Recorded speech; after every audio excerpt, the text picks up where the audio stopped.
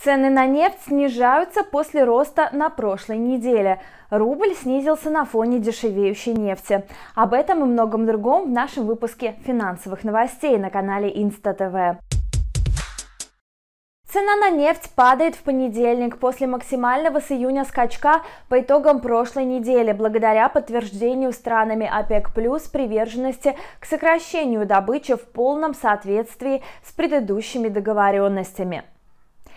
Стоимость ноябрьских фьючерсов на нефть Brent на лондонской бирже ICE Futures в понедельник утром составляет 42 доллара 80 центов за баррель. Это на 35 центов или на 81 сотую процента ниже цены на закрытие предыдущей сессии.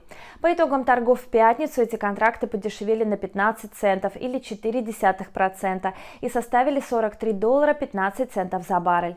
Цена фьючерсов на нефть WTI на октябрь на электронных торгах торгах Нью-Йоркской товарной биржи к этому времени составляет 40 долларов 75 центов за баррель, что на 36 центов выше уровня предыдущей сессии. В пятницу фьючерсы подорожали на 14 центов, до 41 доллара 11 центов за баррель.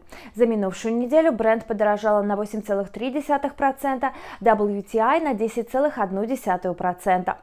Игроки рынка следят за ситуацией вокруг коронавируса в мире. По итогам заседания мониторингового министерского комитета ОПЕК+, которое прошло на прошлой неделе, было объявлено о продлении сроков компенсации несокращенных объемов добычи ОПЕК+, до конца 2020 года.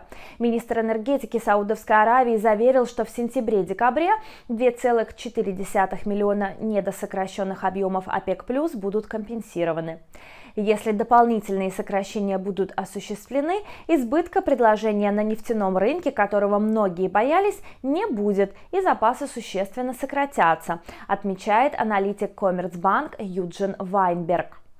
ММС рекомендовал странам, которые участвуют в сделке по ограничению добычи нефти, быть готовыми принимать дальнейшие меры по стабилизации рынка при необходимости. Рубль снижается в понедельник, так как падение цен на нефть перевысило рост спроса на валюты развивающихся рынков. Котировки пары доллар-рубль расчетами завтра сегодня были на уровне 76.29.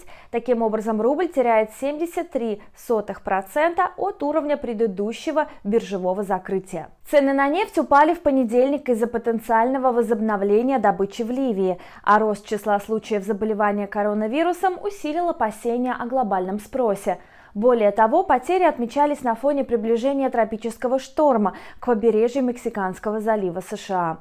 Аналитики ожидают, что в понедельник рубль попытается укрепиться, так как ориентированные на экспорт компании готовы конвертировать свою валюту для выплат налогов, которые могут достигнуть максимума на этой неделе.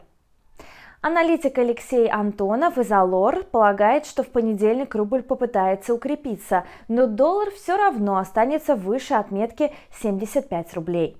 Вы смотрели новости на канале Инста ТВ. До свидания.